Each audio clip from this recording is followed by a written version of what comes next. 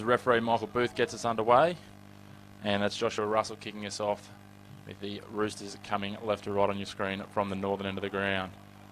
Position here for the Eels. They go to the right.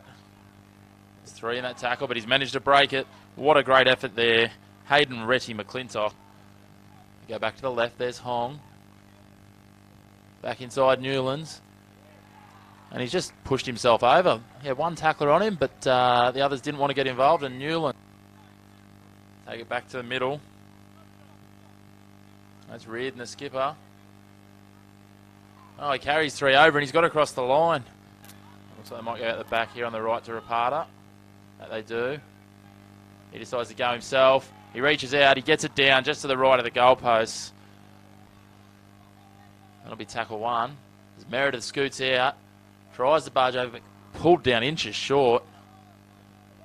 Ready, McClintock dives over from dummy half for his second for the Central Coast Roosters. They can't take a trick at the moment. And he just strolls straight through. Joshua Russell, he'll go under the post untouched, add to his four conversions with a try. See, that's Ethan Myers storming onto that ball. And he's managed to get it onto the chalk. He's just picked up the edge of the chalk. Set to the left, Russell. Ready McClintock, he's looking for a third. And he's going to barge through. And he gets it down. There's his hat trick. Ready McClintock.